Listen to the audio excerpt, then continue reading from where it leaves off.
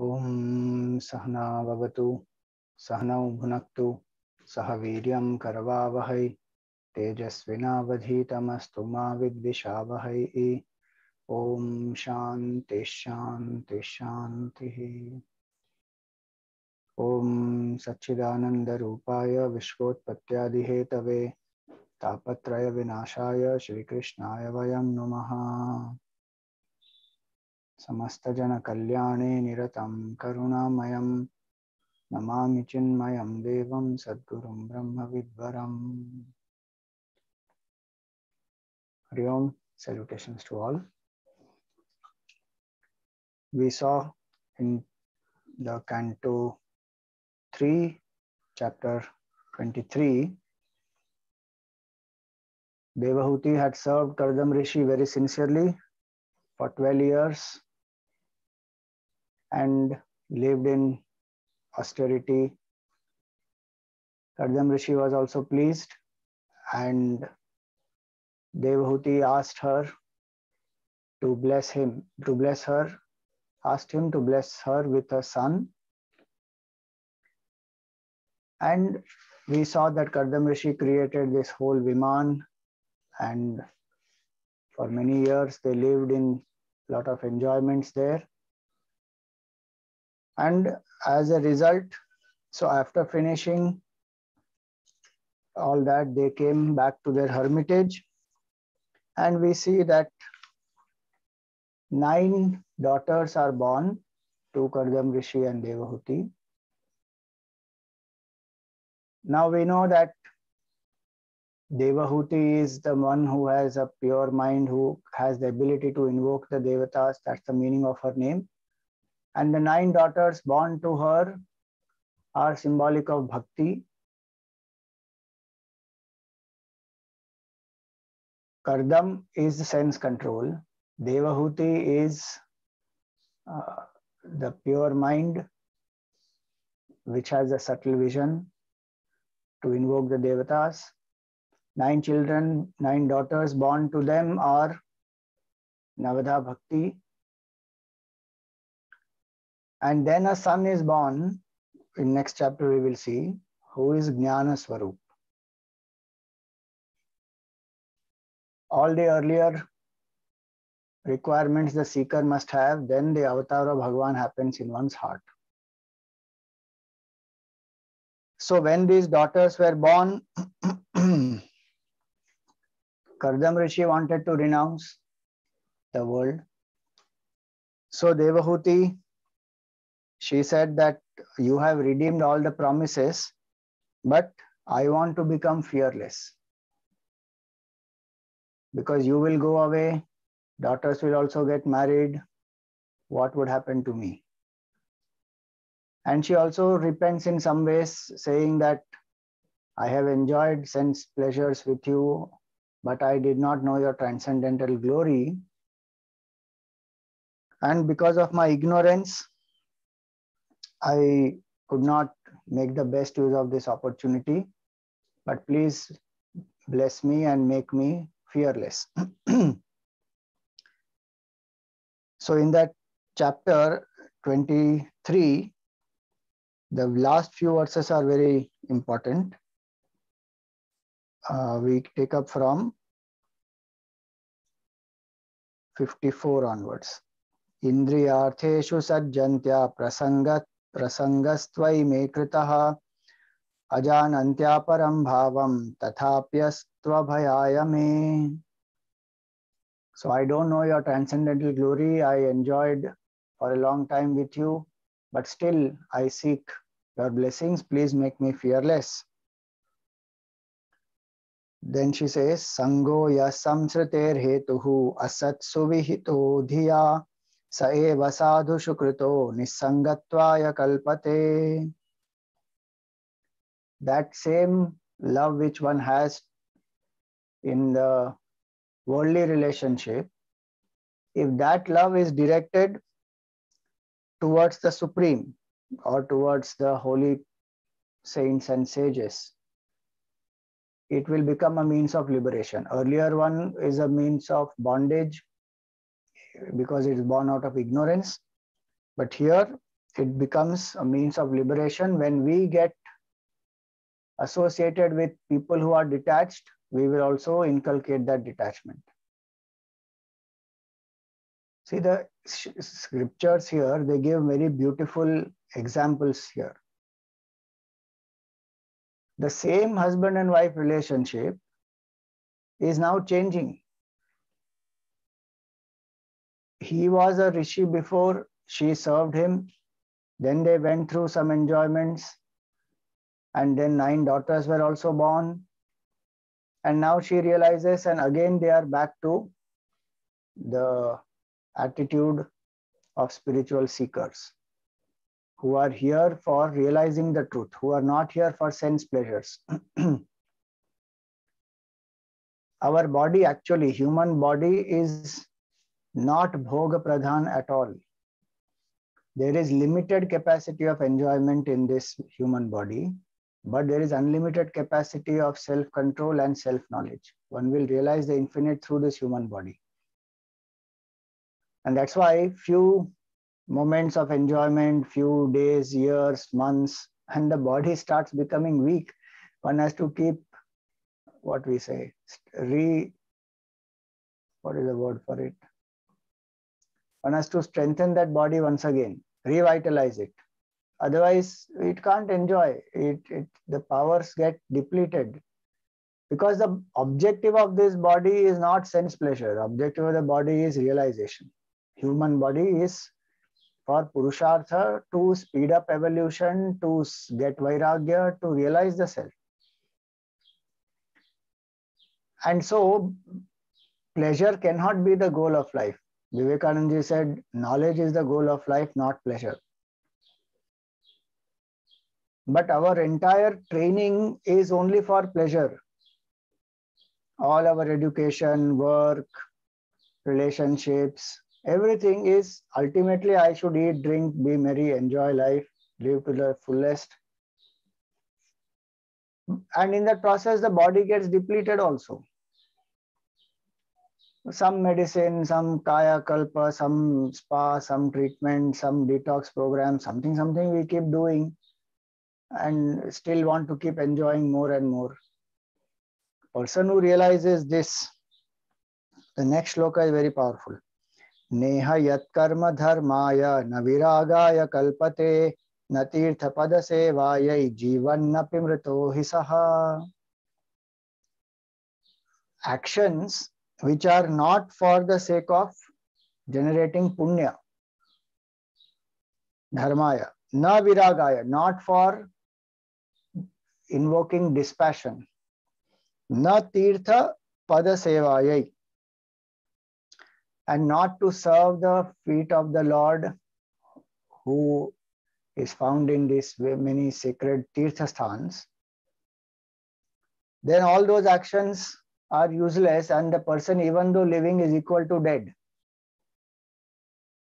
Now you may say, who is saying this? They to enjoyed so many things. That's the purpose all enjoyments must produce vairagya. And it will produce vairagya only if satsang has been there in life. Otherwise, bhogavritti will create more bhogavritti. The more I indulge, more I engage, more vasanas are created, more tendencies to enjoy are created, then more desires. That cycle goes on. Only difference is maybe at some point we reach saturation point in certain type of enjoyments, but we seek some other type of enjoyments there. But bhoga vritti as such doesn't change. Only object of bhoga changes. So whether one has arrived at dispassion through one's own reflection, satsang, sadhana, sanyam, or even through sense enjoyment, finally one has to land up in vairagya only. So it is up to us to decide. Our Shastra says very clearly only 25 years, and actually 25 years is a long time. 25 years one enjoys. After that and before that, one has to live in self control. But think about our life. All the 100 years, whichever they are, are full of enjoyment only. Satsang one goes on postponing So here he say she says this. And please remember, she is not now a dry intellectual saying this. She has gone through all kinds of highest pleasures which are unimaginable even for human beings. Such enjoyment she has gone through, and then she's saying this, even though living, that person is dead. If that person has not done actions to produce punya or to get vairagya or to have bhakti for the lotus feet of the Lord, there is no point. And so she sincerely wants the blessings of Kardam Rishi to help her in evolving, to realize that state of uh, oneness with the Lord, because that only brings fearlessness. When she says Abhayam, Abhayam Datumarhasi, please bless me with that fearlessness. Fearlessness comes only when there is oneness. Where one sees duality, there is fear. So she's asking for self knowledge. And she's expressing this also that I have realized this. And see, Kardam Rishi is not feeling sad that, uh, or you only told that let us enjoy and I wasted my time. Now, what is this? Now you are saying it is all useless. all that has led her to this Vairagya. So it's not about feeling guilty or feeling that my time has got wasted whatever one has lived, however one has lived till now, if one reflects upon it clearly, Vairagya has to come. And in the right direction, when we reflect, then definitely Vairagya will come. Because all the moments of pleasure are so fleeting. Popularity, pleasure, position, power, absolutely fleeting. And for that, how much insecurity and what all compromises one has to do and nothing, nothing remains in the hand. It just goes away. What remains is the negative karma I have created because of the compromises or bhoga vritti that I've increased because of my indulgences. So when one understands all those things clearly, then one turns. Because vairagya comes through proper vivek and all experiences of life help in doing the vivek. So none of the experiences go for a waste. So there is no point in regretting at all that, or I did, maybe I should have come across this knowledge much before, but I didn't come across. Nothing to regret. Every single experience becomes a source of learning when I use it accordingly. And to develop these three develop selflessness, do punya karma, develop vairagya, develop bhakti. If I'm doing this, that's about it. So finally she says, Saham bhagavato nunam vanchita maya yadridham yatvam vimuktidam prapya namumuksheya bandhanat. So she says that I have been badly deceived by Bhagwan's Maya. Why? Because I failed to seek liberation even after having you. He is a great master already, actually. He has already done tapasya, had darshana Bhagwan, and Brahmaji has told him to take the creation forward. He did not want, he is already established in that state of at least we can say high level of vairagya. So she says that even after obtaining you as my husband, I did not strive for liberation. Maya or Bhagwan has taken me for a royal ride. And so please help me. See, this realization must come to all of us also. That Maya takes us for a super ride. We don't have to pay anything only.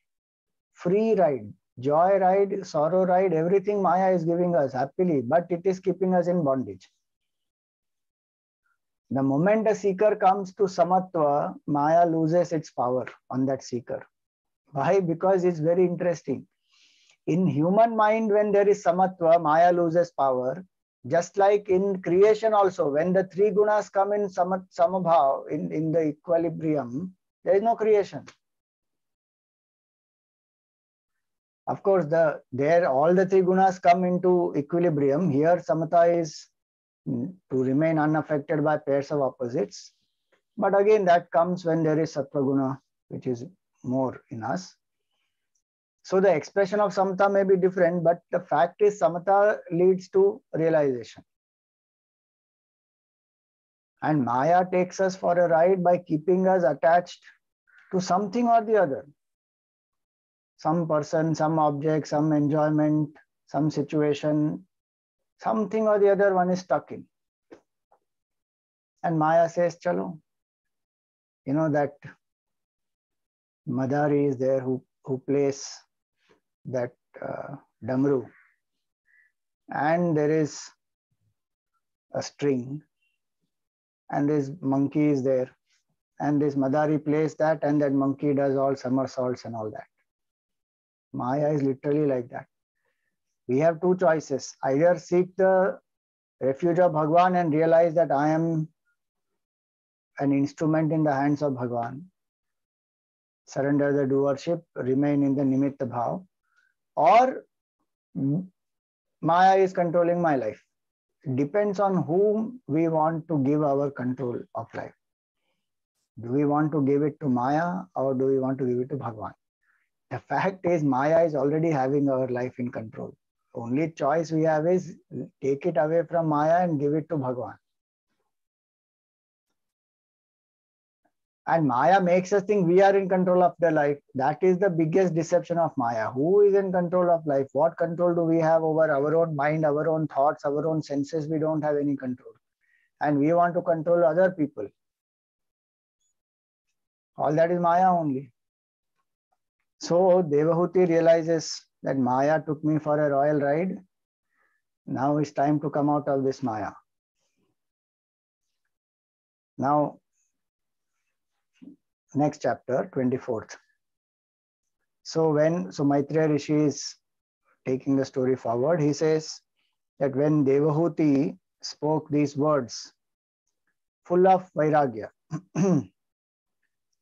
then Kapil Muni is very compassionate he remembered what Bhagwan had told him and he replied, Rishiruvacha Makhido Rajaputritham Atmanam Pratyanindite Bhagavan Steksharo Garbham Aduratsam Prapatsyate.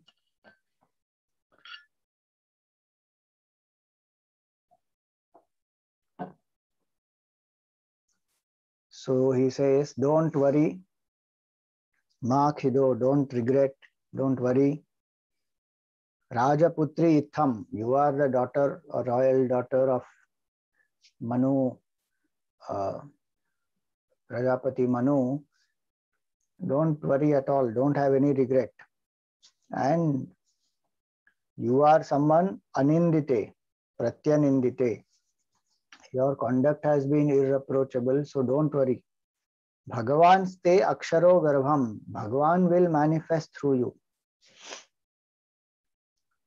when अधूरात very soon Bhagwan will do to take avatar through you so don't look down upon your self Bhagwan is going to come and so what you should do prepare your self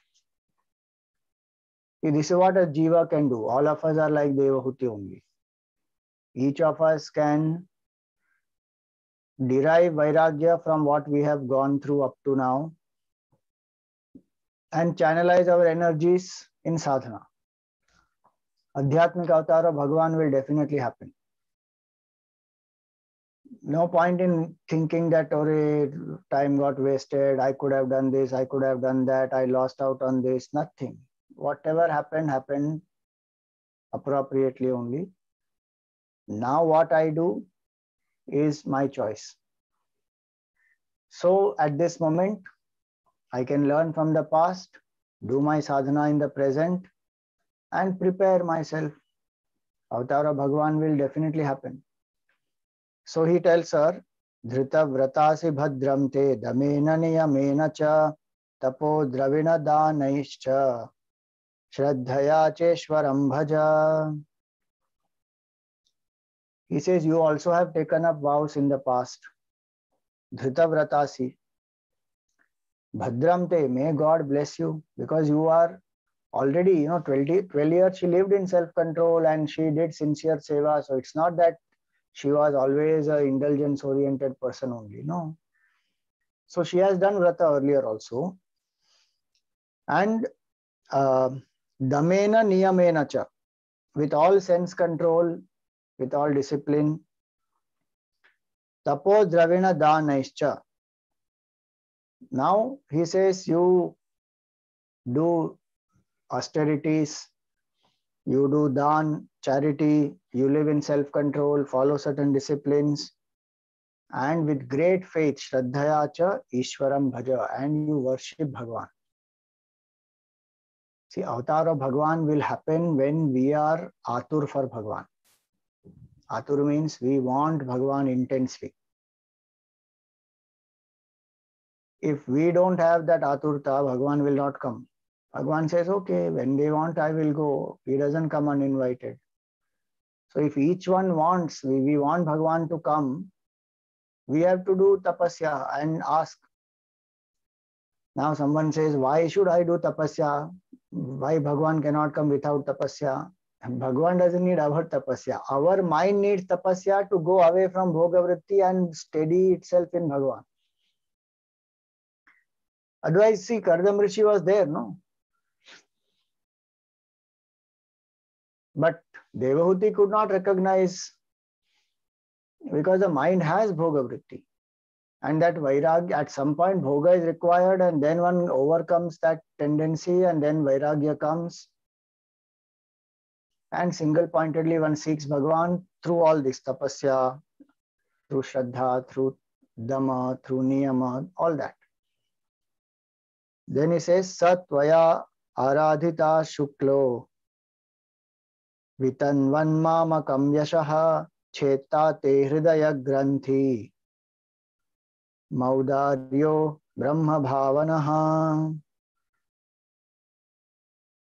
छेताते हृदय ग्रंथिम औदार्यो ब्रह्म भावना सो when you propitiate Bhagwan Vishnu then what will happen he will be born as a son to you त्वया आराधित शुक्ल वितन्वान वितन्वन मामकम यश and what will he do after being born as a son छेताते हृदय ग्रंथि he will destroy the knots of your heart so hridaya granthi is the cause of all our sorrow ignorance desire and selfish actions avidya kama karma the cause of kama and karma is avidya and Bhagwan through the knowledge will destroy that avidya. So he says that uh, he will be born, he will instruct you in that knowledge and he will destroy. See, Kardam Rishi was asked by her to give, uh, to grant her fearlessness. Kardam Rishi says, don't worry, Bhagwan is there, he is going to come. Have patience, prepare for his arrival, start doing all tapasyas and he will be born and you will be taken care of. Basically, it means that that don't have any insecurity. So Devahuti got assurance also. Now Maitreya Rishi continues. So she had faith in the words of Kardam Rishi and she started doing the worship of the Supreme Lord with all great faith. Shraddhaya Purusham Kutastham अभजत गुरुम तस्याम बहुतिथे काले भगवन भगवान मधुसूदन कार्दमं वीर्यमापन्नो यज्ञिव दारुणी। So over a period of time बहुतिथे काले after long period of time that supreme lord who is Madhusudan first entered into the vitality of Kardam Rishi and then into the womb of Devahuti Example given here is just like the fire appears through the firewood. Now the fire appears through the firewood means the fire is actually already dormant there in that wood. Some way by which we uh, create fire will only bring out the fire already in the wood. So that's why we say it is combustible. So in that way, Bhagwan is there in all of us. But when avatar has to happen specifically, then of course Bhagwan follows the process. And so he is now manifesting as a son. Now, so Bhagwan came into the womb. So naturally, when Bhagwan is taking avatar, the entire Srishti is very happy. So it is said here that the gods in the form of raining clouds, they sounded musical instruments in the sky. The Gandharvas sang praises. The Apsaras danced through joy. Heavenly flowers rained by gods flying in the air dropped. And all quarters, as well as the waters and the minds of people too became very clear. Now Brahmaji, he along with Marichi and other saints, other sages, came to the hermitage of Kardam Rishi. Now when he came there, this is Bhagwan is still not born. Brahmaji has come before that. And Brahmaji knew that Bhagwan is now in the womb there and he is going to manifest as the as the great Jnana avatar Kapil Muni. And so he says that uh,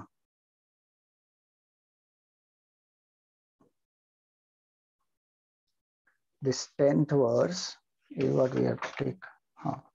Bhagavantam param brahma satve namshena shatruhana tattva sankhyana vignaptyai jatam vidvana jakswarat. That Supreme Brahman, Bhagavantam param brahma. Through Sattva Guna, one Amsha of his is going to manifest. He is manifesting here. And he is manifesting here to give the knowledge of the tattvas. So Sankhya uh, philosophy will speak about 24 tattvas. Prakriti, has 24 tattvas. Five senses of knowledge, five senses of action, five pranas, five elements, mind, intellect, memory, ego, 24 tattvas. And who is the Purusha? Is that Supreme Lord who enlivens this Prakriti, who has, which has 24 tattvas, from which then the creation comes forth. Comes forth.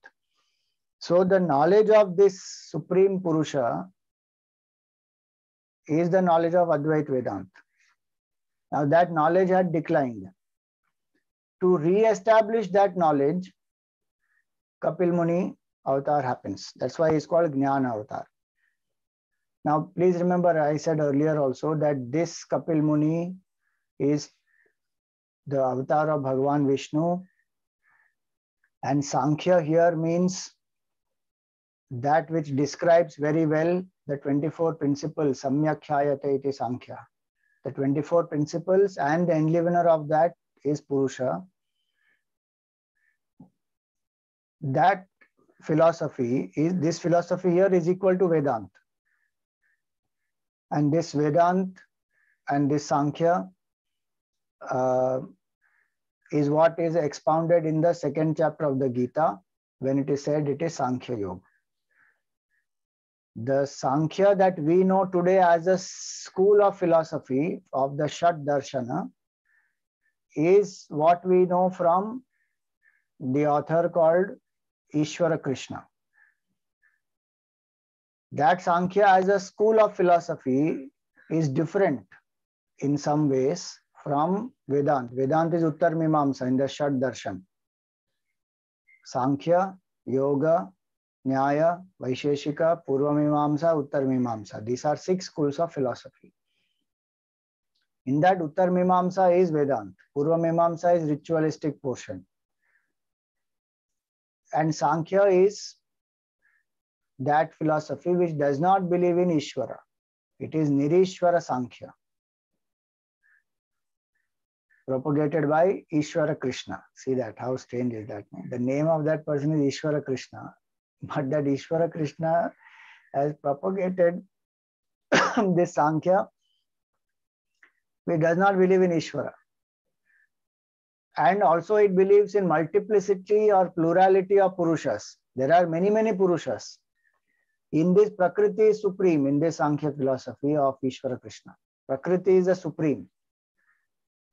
And Purusha becomes a Bhokta. Purusha is not a Karta, but Purusha is a Bhokta. In the 13th chapter in the Gita, this Sankhya is referred there. And that's why we get very confused when we come to those shlokas. There he says that Purusha Prakriti Stohi Bhungte Prakriti Jan Gunan that Purusha sitting in Prakriti enjoys the three gunas. And somewhere else we read, Hare Purusha is so doesn't enjoy anything. He is Alipta, Asanga. And here is Purusha is saying it is enjoying. That is because that Sankhya influences this. And one may say, oh, but that Ishwar Krishna was 4th century BCE and Gita was before that. Huh? So this Ishwar Krishna is inspired by another Kapil Muni who was much before Mahabharat, and he spoke about this 24 tattvas and Prakriti being the supreme, Purusha being the Bhokta, and there is no Ishvara. That is Sankhya philosophy. So this Sankhya is Vedant only. So just like Shankaracharyaji's avatar happened much later to revive Advaitic tradition, same way Kapil Muni's avatar is to revive Advaitic tradition. Generally, you know, when we start our talks, etc., to speak about Guru Parampara, we say that Vedavyas Maharshi compiled the Vedas, and you know, he's one of the first missionaries. No doubt he is. But he's not the first missionary.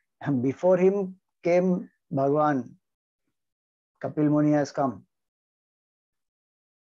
Before him also there must be many. So we don't know. That's why we say guru parampara is anadi. It starts from bhagwan and then goes on. So that bhagwan who is unborn ajaha vidwan ajaswarat and who is self luminous who doesn't need any other source of illumination that supreme lord is going to be born here because of his sattva guna and finally, he says that uh, 11th one, Sabha Jayan Vishuddhena Chetasa Tachikiršitam Prahrishyamanair Asubhihi Kardamam Chedam Abhyadhat. So he says, welcoming with a guileless mind the intention of the Lord the Creator spoke thus to Kardam and Devahuti with all his senses greatly delighted. So Brahmaji now addresses all of them. One interesting thing is this, you know, they have nine daughters. And they are not talking about getting them married and worrying about their marriage and array nine daughters are there. When will they get married? To whom will they get married? We have to find the right person for them. We will have one daughter one son whatever we may have. And for their marriage and for their life one gets so concerned that one leaves all puja part bhajan everything. Why? No no marriage marriage marriage are their karma it is, it will take care. Bhagwan is there to take care. I'm not saying we should not be concerned as parents. We should, there is no problem to be concerned as parents. One should be, but not leaving Bhagwan and leaving Bhakti and leaving sadhana and say, you know, getting worked up. Kardam Rishi and Devahuti both are doing tapasya. They are not bothered about these nine daughters. Are who will get married to whom and what will we do? And we have to start finding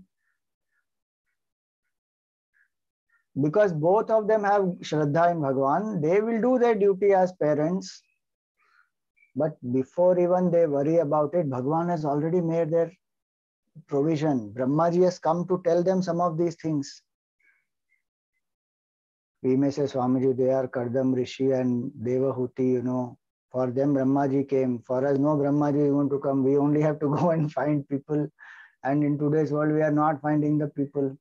What to do now? Pray to Bhagavan more, find, easily one will find. Nothing is going to happen anyway by worry and by running behind samsaric people at the cost of bhakti and sadhana, nothing is going to happen. One should, any solution one wants, what should one do? Go to Bhagavan. Artha Bhakta, we have studied earlier.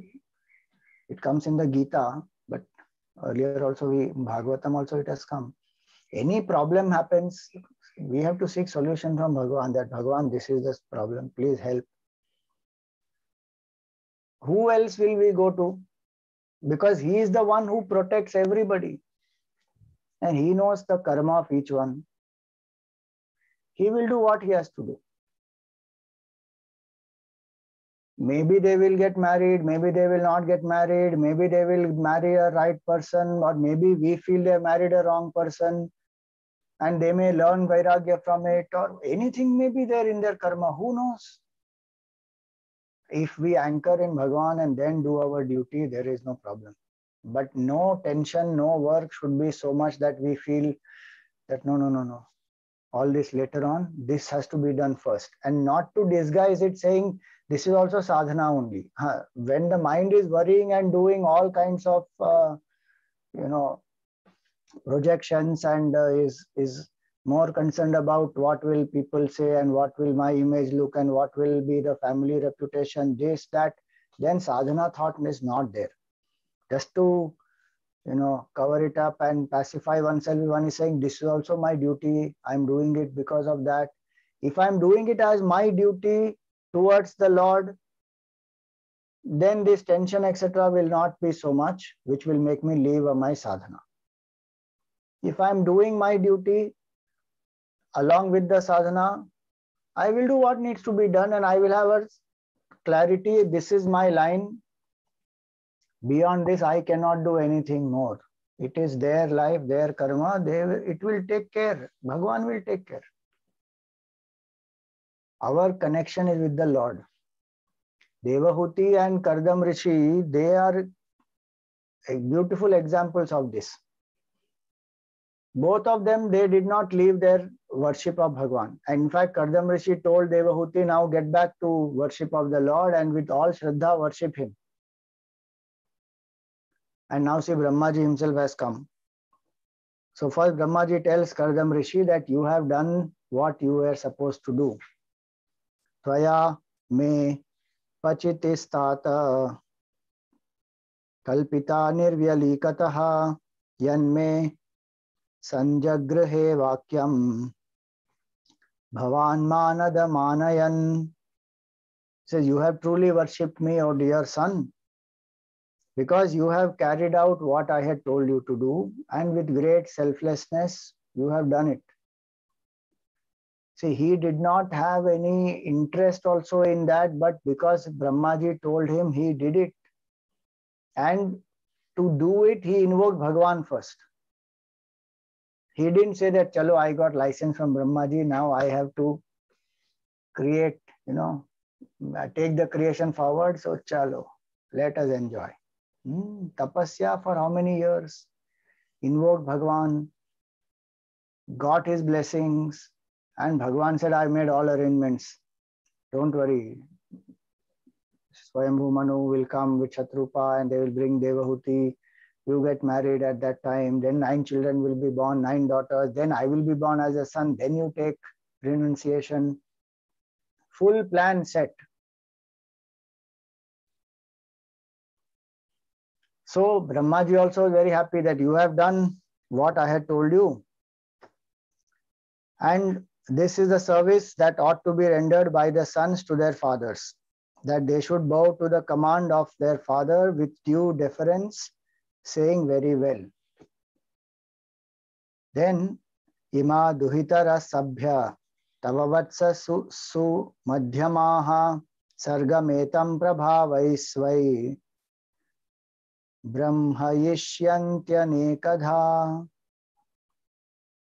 Now Brahmaji is telling Kardam Rishi that these slender-waisted daughters of yours O my worthy child, will multiply this creation manifold through their descendants. And so, what you should do? You give these daughters this very day to all the great sages with due regard to the girl's temperament and liking, and thereby spread the frame of yours all over the globe.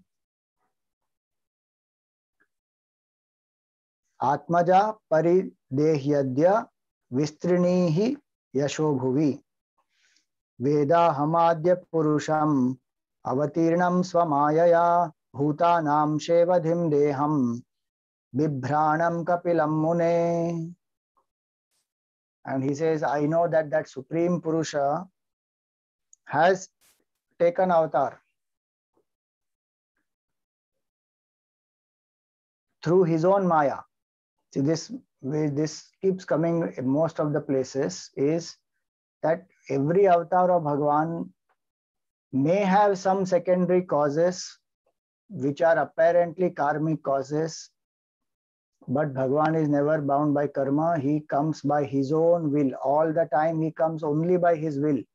Swamayaya. It is not that uh, he is bound because of the tapasya of Kardam Rishi and then he committed, so he has to come. He always comes by his will alone. The entire Srishti is going on only by his will. How will he be bound by any karma of any other jiva? It is not possible. So, with his will, out of his compassion, now he has taken a form and he is in this person, he is in this form as Kapil Muni in the womb of Devahuti. And so he continues.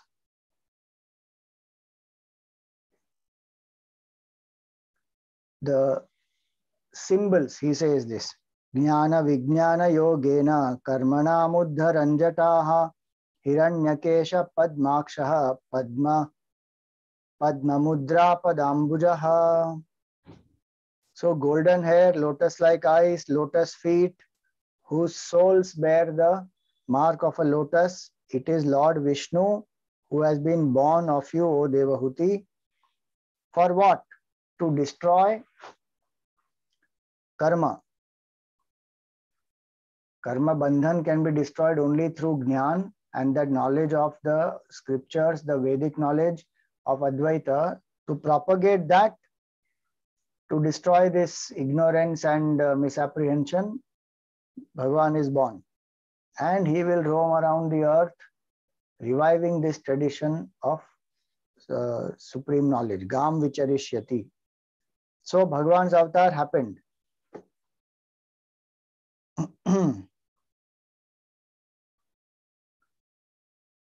भूतानाम शेवधिम देहम बिभ्राणम कपिलम मुने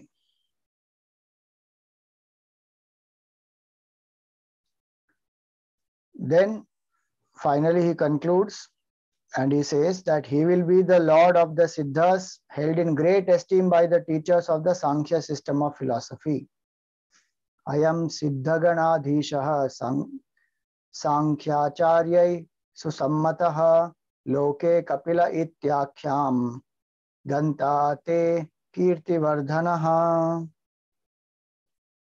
By the name of Kapila, he will be known world over and respected by the teachers of Sankhya philosophy, and they will he will spread your fame. Now, Brahmaji, Maitreya Rishi continues that Brahmaji sat on his Vahan, which is a swan, and he went to Satyaloka. And he was accompanied by the Sanat Kumars and Naradji, they all went away.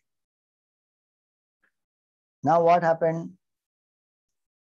Kardam Rishi, Brahmaji already told him that give away your daughters in marriage to these great sages as per the temperament of the daughters. See that also, no? Yathashilam yatha ruchihi. It's not that the father is going to decide for the daughters. Uh, he says you decide based on their ruchi. And these are great sages here. Decide based on their ruchi, you get them married. And so Kardam Rishi starts doing that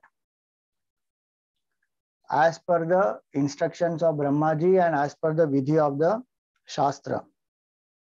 Yathoditam swaduhitruhu pradak विश्वसृजां ततः। मरीचये Kalan प्रादाद्। अनसूयामथात्रये श्रद्धामङ्गिरसे यच्छत्। पुलस्त्याय हविर्भुवम्। So these are the names now. So Kala is given to Marichi, Anusuya Devi to Atri, Shraddha to Angira, Havirbhu to Pulastya, Gati to Pulaha, and the virtuous Kriya to Kratu, Khyati to Bhrigu, and Arundhati to Vasishtha. And Atharva he gave Shanti.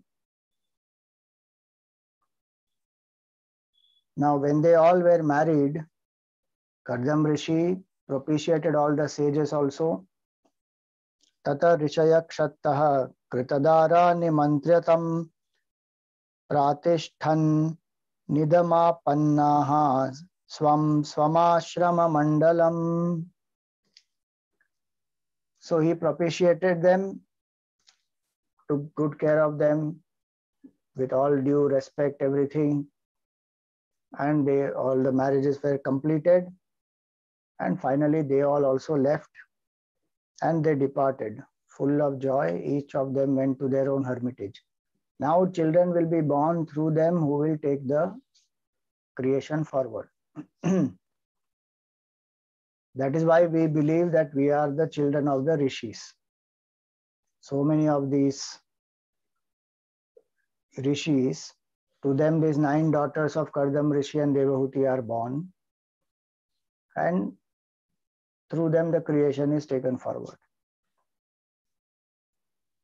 So when we say Manu and Shatrupa take creation forward, they take creation forward in their way. Then from them, their daughter and then Kardam Rishi, then they take forward. So that way it goes on. The creation has been going on. Now, all the daughters have been married, son is also born, now Kardam Rishi finally feels now all the things that were to be done are done. Now I have to renounce. Now this is very interesting. Kardam Rishi, in his home, Bhagwan is born as Kapil Muni. But he goes to Bhagwan and says, I want to renounce the world. How interesting is that? Even though he is the one in whose house Bhagwan has taken avatar. One may say Bhagwan took avatar in his house. What more does he need? Why does he want to renounce and go? Because that is still external. Realization is internal to realize the truth as one's own self. Till that does not happen, avidya does not go.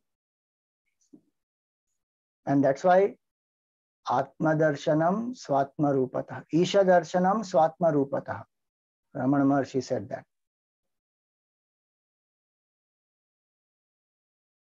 We will have the real darshan of Bhagwan only as one our own self. Externally, of course, Bhagwan manifests, there is no doubt. But the union really, so-called union, the realization is only when we realize the self. And purpose of kapil muni uh, kapil muni's avatar also is that only no? To make people realize the knowledge of advaita and through that make them realize oneness with the supreme. So kapil muni he is now right now bhagwan is in the form of kapil muni as a small child and kardam rishi goes to him. That now that Bhagwan himself is born, when Bhagwan is all alone, Kapil, Kardam Rishi goes to him, he bows down to him. He doesn't say, he is my child. Why should I bow down to him? He is not looking at him as a child. He is looking at him as Bhagwan himself. See, that's the difference of detachment and attachment. When detachment is there, one is able to see as it is. Though there is a role, Kardam Rishi is a father, Kapil Muni is a child, there is a role. But that role is not by itself real. What is real is the, the child is Bhagwan. Kardam Rishi focuses on that. That is real. And that can come only when there is detachment from our role. If we get so attached to our role, we can't see. Like how Devahuti was so attached to Kardam Rishi and enjoyment, so she couldn't appreciate his transcendental glory at that time when they were enjoying. Later on, she recognizes and then she says, Ore, Maya took me for a ride. Here, Kardam Rishi is very clear. Now, that brings us to another beautiful point to understand. By itself, Bhoga Vritti cannot bind us. Kardam Rishi also went through enjoyment na, with Devahuti. It's not only Devahuti who went through enjoyment. Kardam Rishi, Devahuti, both of them enjoyed. But Devahuti got Vairagya and she felt that Are, Maya took me for a ride. Kardam Rishi never felt it. Why? Because before also he was in tapasya. He came into Grihastha also as a duty because of his father, what he said. He was not attached to it at all. And he was very clear this is not what I want. My goal is to realize oneness, and for that, renunciation is the means. So I have to renounce nine daughters, one son. After that, I'm going to renounce. So established in detachment before, during, after, nothing will happen to that person. Will that person enjoy while enjoying the sense enjoyments? Of course, will enjoy, will be happy, but will never be dependent on it, never be bound by it, never feel that, oh, I'm missing this now or I have become so attached to it that now I my decision has changed. Now I don't want to renounce. Hundred years of living in that divine aerial car that he created, Viman, Kardam Rishi has no second thoughts about renunciation. And he was anchored in tapasya. That is the importance of sadhana. See, if people like Kardam Rishi, who are so detached, they are talking about renunciation, then what to talk about us? When we are not even having that much detachment before, during, after, and then we drop our sadhana also, we get involved in so many other things. And then we say, I am in Grihastha, but I will not be attached. It is not possible we will be attached unless we don't anchor in Bhagwan and Bhakti and Sadhana or Jnana. Somewhere or the other, we will get attached, and then that brings us agitation. So, these are beautiful points to understand from Kardam Rishi's life.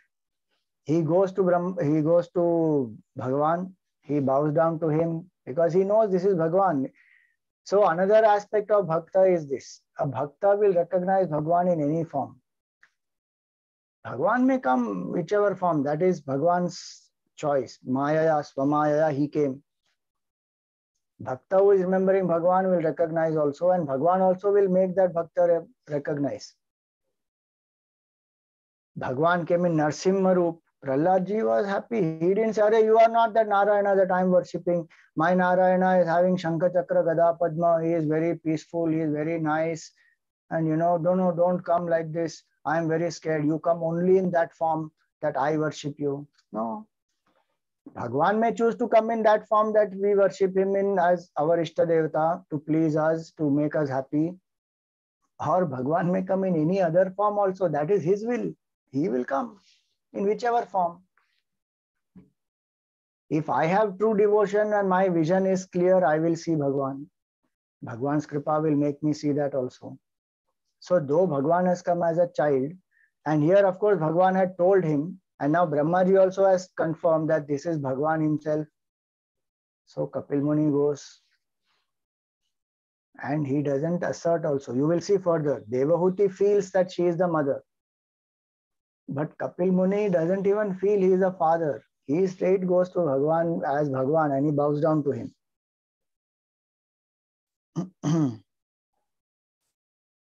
so that is in verse 26.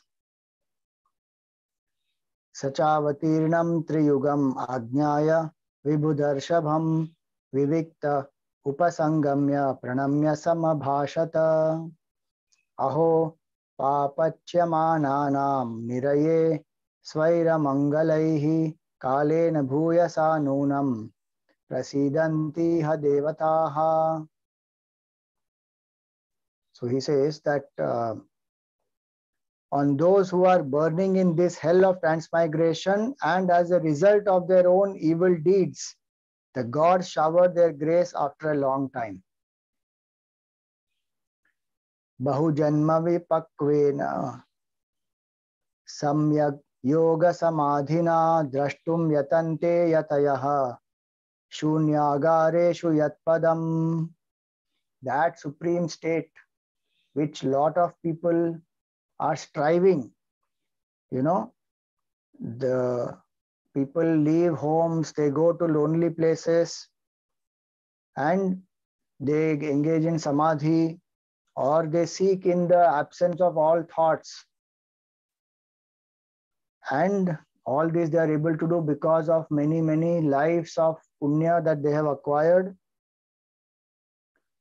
That Supreme Lord is born in our home.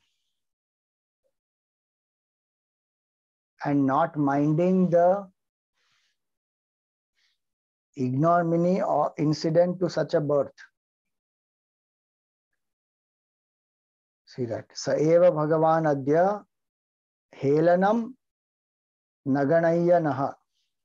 गृहेषु जातो ग्राम्याणाम यस्वानाम पक्ष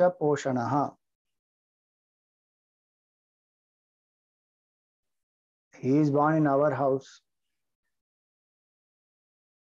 he is not in this avatar as kapil muni he is not born in some royal place or some king's house or you know, in palace or any such place. You know, or he says in our house, in a simple hermitage here, all the universe is born.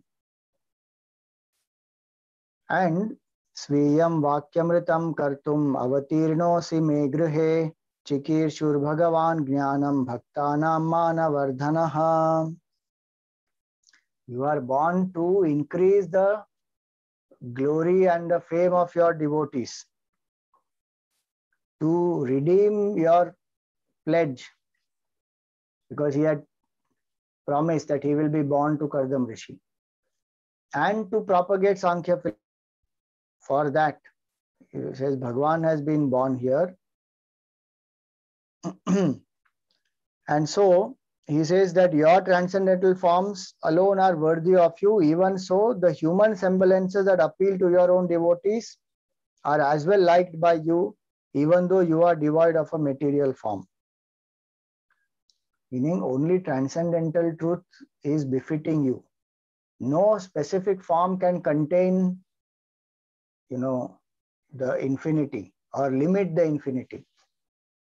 Like any wave cannot contain the whole ocean.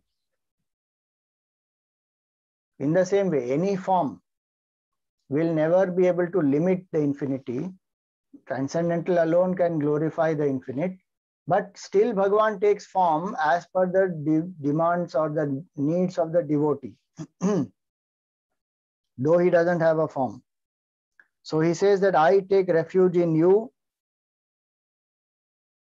and at your lotus feet which are worthy of worship by all the sages.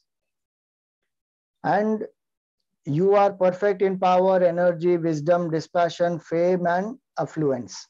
Aishwarya, Vairagya, Yasho, avabodha virya shriya purtamaham prapadye. He says i surrender to you. You are full of all these. These are six things which are called bhaga and that's why one who has these six in full measure is called bhagavan aishwarya vairagya yasha avabodha virya and shriya these six. Now this is this is given here in bhagavatam. The similar description you will find in uh, other Puranas also, and then Shankaracharya also quotes in Gita Bhashya. When first time Sri Bhagavan Vacha comes, he explains Samagrasya vidyasya yashasa shriyaha vairagyasya atha mokshascha shannam bhaga itingana.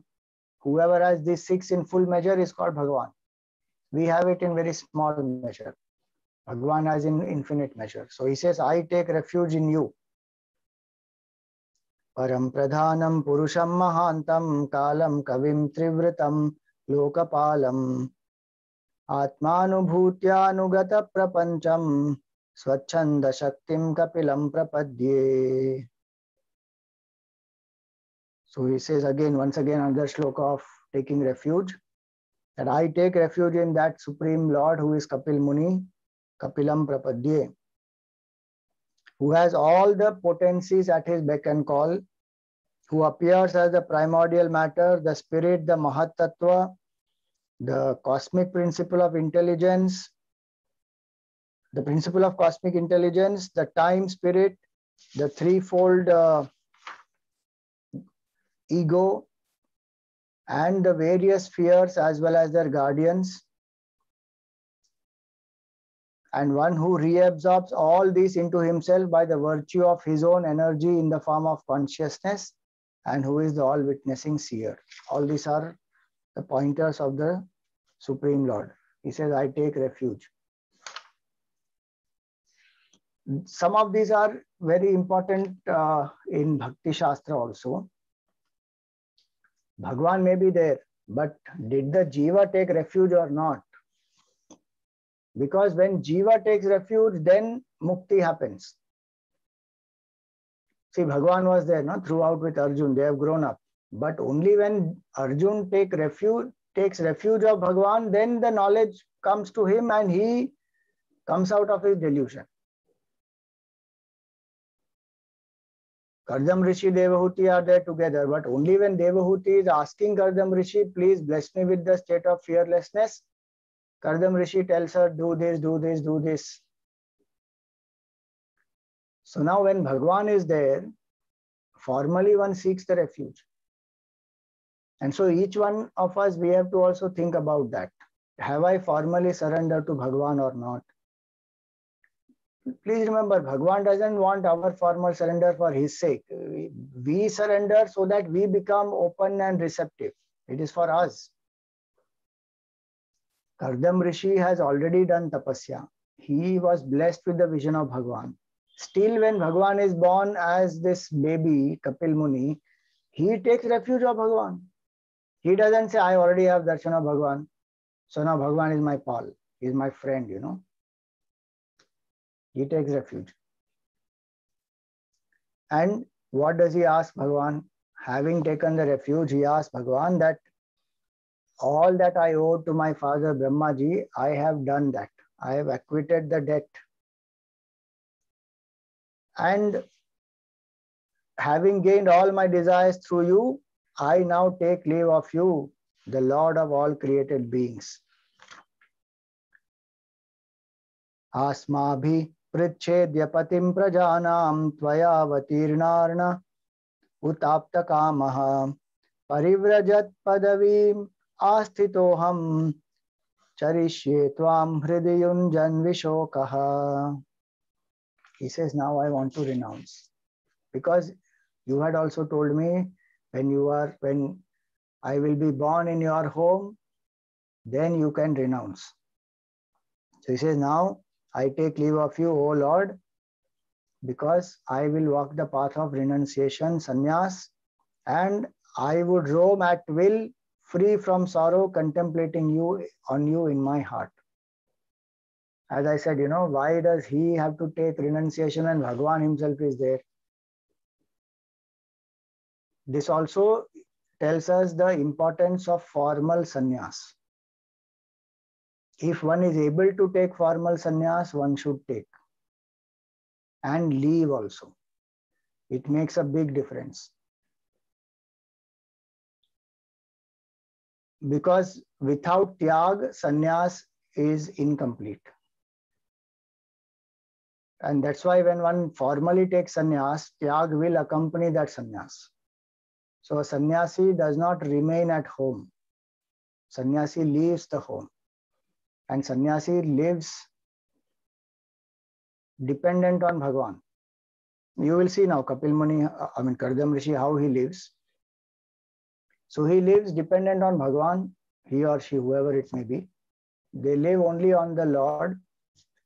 They may choose to stay sometimes in some places and continue to like Tapovan Maharaj. He, he, he stayed in Uttarkashi, he stayed in Gangotri. But all the time they depend only on Bhagwan. No one else, nothing else. If food comes, fine. Food doesn't come, fine. If bhiksha is given, fine. Not given, fine. No complaint. What will one do? Remember Bhagwan. That's it. The only duty of the sannyasi is remember the Lord continuously, engage in contemplation on Bhagwan, and revel in that absolute glory of the Lord. So, and please remember this sannyas is not escapism. He has done one, one to he has done all his duties toward the family. All the nine daughters are married. What Brahmaji told him, he has completed. And so our culture is very clear. Atmano mokshaya jagat hitaya cha. For the self-emancipation and welfare of the world. Welfare of the world and duty, selfless service are a means to purify the mind for self-realization. When the purification of the mind, when also shows duties will have an end. Duties are not eternal. We are we we bind ourselves to the duties eternally. We say oh, once a parent, always a parent. No. Role of a parent keeps changing. After a point in time, it is a child's life. One has nothing to do with it in terms of guiding all the time. Leave it to them. They will do. You have brought them up so many years. Now leave it. They will do what they have to do. You turn the mind to Bhagwan. That's why our culture says when the grandchild is born, 10 years maximum. If the grandchild is 10 years old, one takes Vanaprastha and then finally takes sannyas. Because these are temporary relationships. The self is only permanent and one should seek that self having got human body. so he takes leave. He says, Bhagwan, now I take leave. I want to roam the earth. Now one may say, how selfish is that? He just wants to roam the earth. So he left Devahuti and his son and he went. He is not going on some holiday trip and living in some resort and enjoying. Look at the life of a sannyasi, how he is living. There is no fixed place to stay. There is no fixed, uh, you know, even basic necessities may not be there. But that sannyasi will revel in Bhagwan only. He is not roaming the earth for the sake of uh, enjoyment. Roaming the earth also is having other deeper significances. That they will not stay in one place because as they keep moving, they will keep spreading the knowledge of Bhagwan and Atmajnan to more and more people. One. Two, it is also for people. Because people get attached very easily. That's why they say Pani behta bhala, sadhu chalta bhala. If a sadhu stays in some place, then a sadhu may be highly detached, but the other people get attached. then they again start all the samsara starts there for them again great masters out of compassion they may choose to stay and guide for some time but really one who is having that who, who has the spirit of sannyas will want that's why one will leave some point in time spend time alone. If one's duty one may come back. You know vivekananda if you read his literature you will find in so many places he has even written some of these. He says that even this clothes and this body itself is like a uh, you know extra attachment that is hanging on so many times he would just he said he would just go into the room remove all clothes everything and just sit quietly re- uh, reveling in bhagwan avadhut that's why many will you will find them avadhut some of them, they have no body identification. They will roam around. Some of them, they look like mad people because they don't take care of the body. But they are reveling in the truth. So they move around for the sake of people, just to share the knowledge, also not to get stuck anywhere, not to allow people to get bound to them, that's one of the reasons why Tapovan Maharaj told Gurudev, don't go down. Those who want the knowledge will come. If you go down, you will get stuck by karma and karma chakra is very difficult to come out of. And to some extent, he was true. He was uh, very right about it. Gurudev started such a huge organization out of compassion for us, but how much of his time, etc., this organization took away and people also people did benefit and they are benefiting even today there is no denial of it and that's why we say that how much sacrifice he has done for us he could have been quietly living like tapovan maharaj in the mountains absorbed in the state of bliss you know comprehending brahman all around sitting quietly going into samadhi but he came down did so much and people still did what they did and they accuse him also, they curse him also, and they don't cooperate also. All kinds of things he also faced. But anchored in compassion. Few masters are like that, not very easy to find such masters. Many of them will become quiet, many of them become silent, they just renounce and they become you know, they go into oblivion. Nobody knows where they are, what happened to them. True sannyas will be, you know, in, in that spirit of sannyas is like that. Complete withdrawal. So till now he has done tapasya, he has had enjoyment, he has lived, uh, you know, doing the sadhana. Now he says, even those things I am going to drop, only reveling in the self. Some more points are left in that chapter we will take up in our next class. Any questions?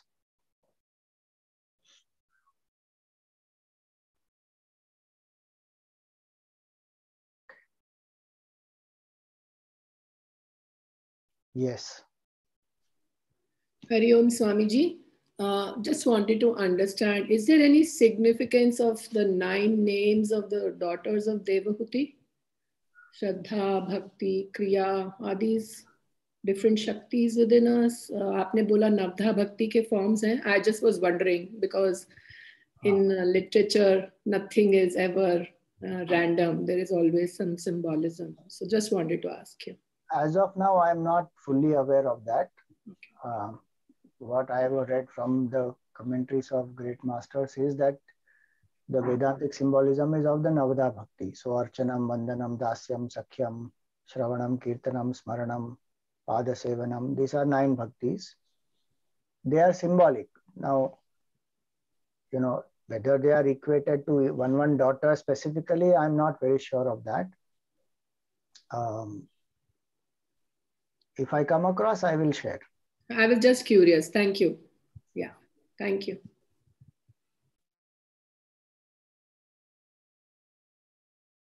Yes. Uh, Swamiji, you said the meaning uh, of, uh, uh, you, you gave out the six uh, uh, attributes of Bhagavan. What does avabodh mean in that? Realization, or what is called moksha. Self knowledge, self knowledge, moksha, realization, that state. Bodha means knowledge actually. Avabodha means uh, establishment in that knowledge so the state of realization it is mukti. Okay. And also just wanted to understand uh, the reasons for uh, Kapil Muni is going uh, in the sense that, I mean, sorry, um, Kardam Rishis. So like what you, what you said, if if he were to stay on, even if he knew, even somebody like him, if he knew that this is Bhagwan in front of me, there's always the chance, there's always that fear that one can still get bound and the, the, that little ego arising at any point saying that Bhagwan was born to me. Is something like that also possible or not really? The other reasons are far more important. No, something like that always is possible. See, unless the absolute state of uh, abidance in the truth doesn't happen, ego can rise in any form. So it is possible for ego to rise um, that Bhagwan is born to me. That is one of the possibilities. That ego may not even rise, that is also possible. But the Jiva Bhav will still be there. No, I am I am a finite Jiva. Mm. So until Atma Gyan doesn't happen, that I am the self, I am not this BMI, and that realization doesn't happen, one is still limited and bound only. And so renunciation is meant for that. That's why he says, "My own, I will roam the earth and contemplate on you." And yes, actually, so this... Bhagavan gives the upadesh of Atmajnan to Kapil Muni, uh, to Kardam Rishi first. In that sense, Kardam Rishi is the first disciple of Kapil Muni. oh. And that, or not that he doesn't know those things, but like we say, when we listen from a guru, then the realization happens. Here is Bhagwan himself. So he gets the Atmajnan. Then his job is to revel in that. So uh, this is kind of like reminding one of where I don't remember where Gurudev has said it, but I remember you teaching that to us where you said that Gurudev says that even if darshan happens, as long as there's a form, it is not complete. One has to go. This is I don't know where the explanation was, but I remember you teaching yeah. that to us. So this is reminding one of that. It's it's like that. When he has to go from form to the formless. Yeah, hundred percent. Every devotee will go from form to formless. If that devotee is not going by oneself, Bhagwan will make the devotee go. Okay. Because Dvaita, yeah, Dvaita can never be the ultimate. Hmm. Uh, we, we in Vedant say that there is Jivan Mukti, uh, one or two other philosophies say there is Jivan Mukti, but that is the ultimate. Dvaita is not going to become the ultimate, but Dvaita will always say that the Jiva is one with Bhagwan, yet they maintain a difference uh, out of courtesy. Uh, and out of Leela, all both the things they say. See, out of courtesy, when a Vedantin will maintain Dvaita. Like we say, Guruna Saha Advaitam na Kuryat. Don't do Advaita with the Guru. So if Guru is sitting there, even the disciple is realized, disciple will still sit down only. That Dvaita one maintains, but internally there is no Dvaita. One knows there is only one Brahman. But that the Bhagavat's Bhakti, Bhagavat's Mukti in the sense of Dvaita there is oneness in some ways where the Bhakta and Bhagwan they feel one, but there is still a difference.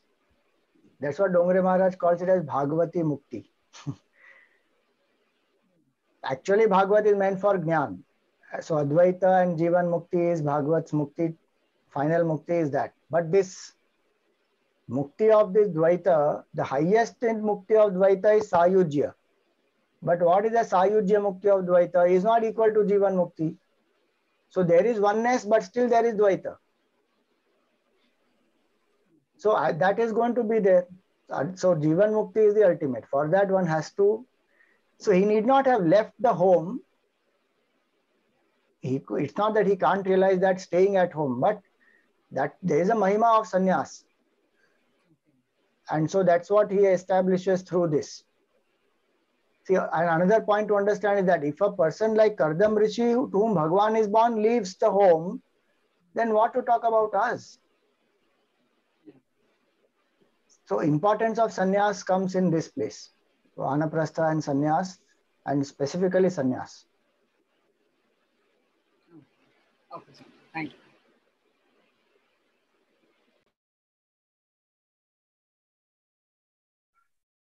Yes. Um, Swamiji, what is Ahankar Mai Granthi? That is the ignore knot of the heart. No, Granthi is the ignorant, knot. Granthi literally means knot.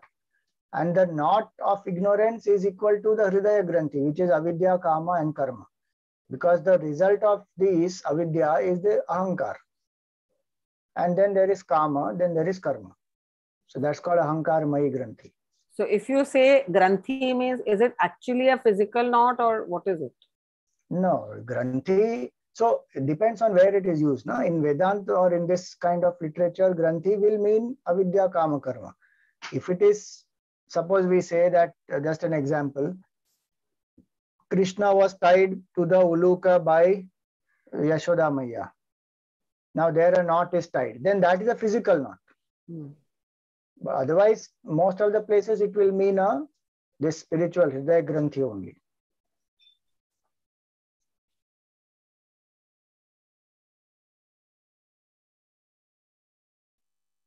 Netaji. Hariom Swamiji, uh, this uh, Kapil Gita is between uh, like uh, Kapilji Muni gives uh, knowledge to uh, Devhuti ji, na? Or it is uh, to Kapil uh, Kapil to Kardam Muni. No, no, Devahuti. Kardam Murshi, Kardam Devahuti. Murshi, he gives the knowledge now, you will see in the next class. He gives in short that Bhagavan Uvacha comes there. That much is the Upadesh he gives to Kardam Rishi, and then Kardam Rishi goes. The Kapil Gita is the knowledge given by him to by Kapil Muni to Devahuti. Devahuti. Nine chapters are there in that. That is at uh, Ganga Sagar he had given, no? No, no, Then not Ganga was- Sagar. Kapil where was Muni's it? Are Kapil Muni's ashram is where? In this uh, western side, na? Eh, we saw Saraswati River. On the banks of that is Kardam Rishi's house. His hermitage there, and the Bindu Sarovar and all that. okay, there only is, is So as given. of now, what I understand it is there. I have not yet read the Kapil Gita fully. The avatar of Bhagwan has happened in that Siddhashram of Kapil Muni of uh, Kardam Rishi, which is in near Gujarat. In Gujarat, that Bindu Yeah. Sarovar, Saraswati River, there. Now, if they went up to Ganga Sagar, I don't know. I have to still read, then I will know. Okay. Hariom.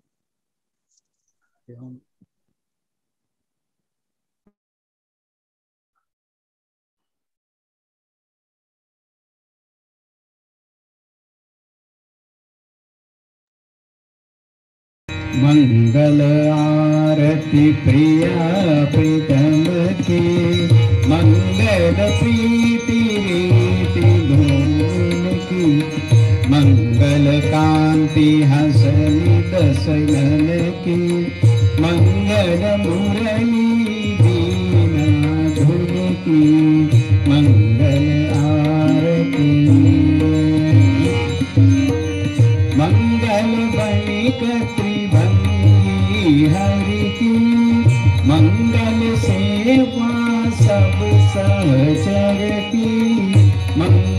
सिर चंद्रिका मुकुट की मंगल छवि नैन में अटकी मंगल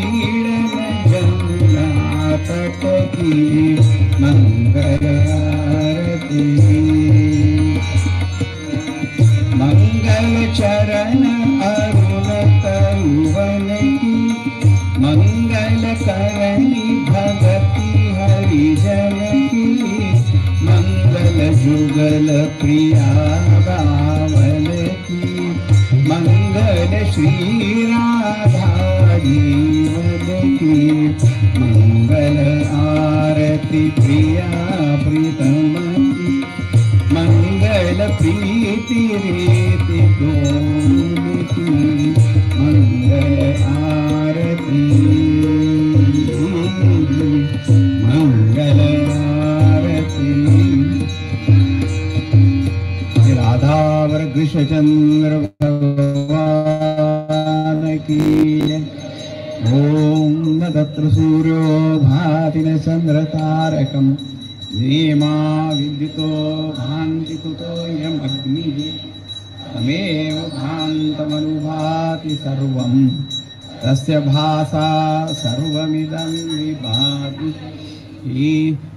गुरुनाथ महाराज की।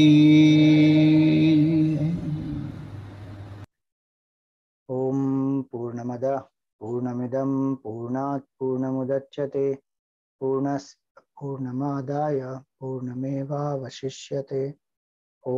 शांति शांति शांति। हरि ओम श्री गुरुभ्यो नमः। हरि ओम।